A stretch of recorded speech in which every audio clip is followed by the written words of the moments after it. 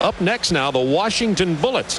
And now we're getting to where you're not exactly sure who these teams are going to pick, even after the first four. But the fifth pick, most people are speculating perhaps Juwan Howard out of Michigan. Let's find out from David Stern.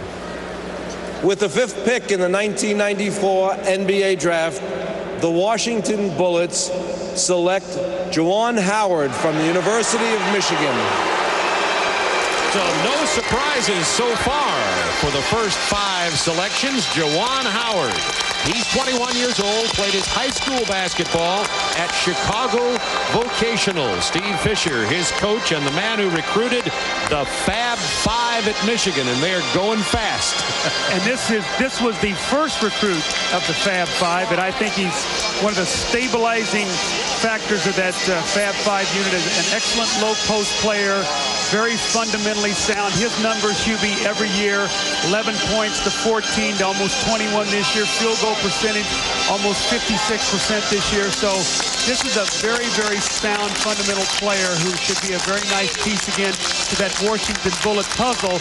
You look at Don MacLean now, you look at Gugliotta, Calbert Cheaney, Rex Chapman. If they can get some play from Duckworth in the middle, this could be a team that gets better in a hurry. No, I agree with you because this guy at 6'9", 250 can hold his spot. And in the NBA, that's NBA, that's the key at power forward.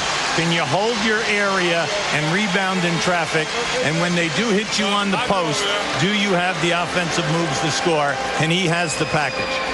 Well, this is a young man whose draft stock went up significantly with his play in the NCAAs, where he averaged 29 points a game and really drew a lot of national attention. He had been less popular and less famous than Chris Webber and then even Jalen Rose.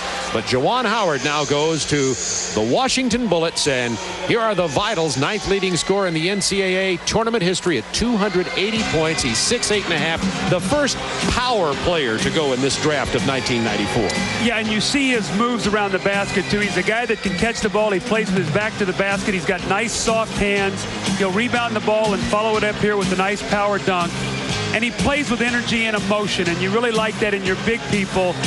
Can step out on the floor, does not have three-point range, probably about 15 to 17 feet. He only made one college three-point shot, so he's going to operate within 15 feet. Uh, Hubie, as we look at his strengths and weaknesses here, how does he fit in with Washington? You know, they've got problems with injuries to Pervis Ellison. Duckworth has not has been a disappointment with Washington. How does this young man step in? Yeah, but you're hoping that Duckworth and then Muresan at the center position will play big, and then you have the luxury of a Gugliotta, a Howard, and MacLean because Gugliotta can play both sides. So what you're doing is you are building your front court strength. That's what we said at the top of the show. Don't worry about duplication. Let's get quality and form competition. Let's meet Juwan Howard now. He's with Craig Sager. Well, Juwan, you were raised by your grandmother who passed away as you left high school. You went to Michigan, found a new family. How tough was it to leave that family to go to the NBA? Well, it was hard. You know, uh, you have to make big changes in life, and uh, there are times when you have to make big decisions.